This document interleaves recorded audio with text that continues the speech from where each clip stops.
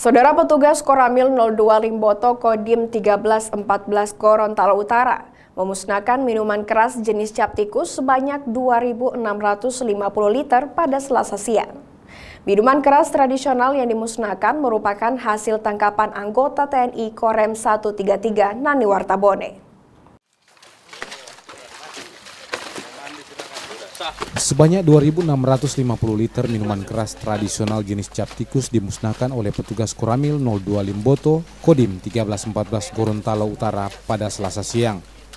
Pemusnahan yang dilakukan di halaman Koramil ini dipimpin langsung oleh perwira penghubung Korem 133 Nani Wartabone Gorontalo, Kapten Infantri Andi Basrang.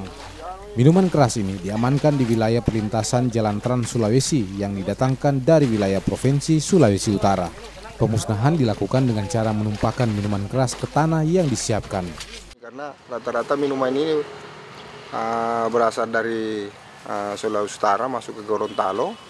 Uh, pada saat itu ditangkapnya barang ini itu melintas di di Korem. Uh, dengan adanya informasi yang kita terima dari sana kita cari tahu mobil ini di mana tertanya uh, melintas di Korem akhirnya petugas uh, dan rem sendiri uh, mewanti-wanti dan sudah memberikan perintah kepada seluruh anggotanya wajib hukumnya untuk uh, menangkap barang. Pemusnahan minuman keras seperti ini sudah berapa kali dilakukan menyusul maraknya pengiriman minuman keras dari Sulawesi Utara.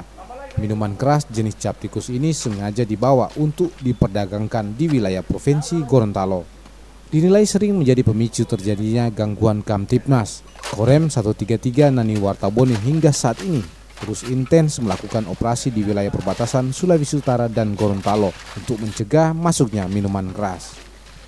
Mamat Kaidah, Kompas TV, Gorontalo.